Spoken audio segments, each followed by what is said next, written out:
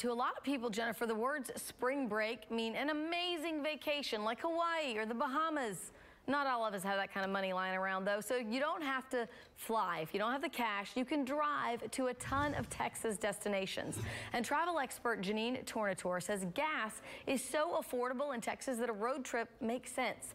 In the U.S., a gallon of regular gas costs $2.44. Here in Texas, it's $2.21, and it's a penny cheaper here in Houston. So Tornatore suggests Austin if you like the music scene and nightlife, San Antonio if you're traveling with your family. I love San Antonio. You have the Riverwalk, you have the Tobin Center for Performing Arts. There's so many great things going on there for families like the San Antonio Zoo. It's so easy to get to.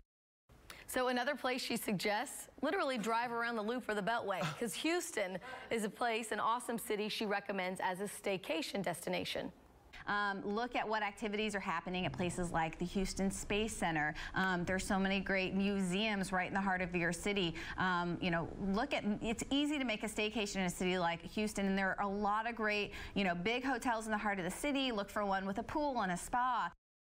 So if you are planning to fly and you're looking for a quick getaway, Tornatore suggests big cities. She says places like LA, Chicago, and Boston are working cities. They offer often offer deals on the weekends. We saw some good deals to Chicago okay. um, for spring break week. That was like a few weeks I like ago. your other idea that just go around the loop. Look, kids, Big Ben, Parliament, Big Ben. Yeah. over and over.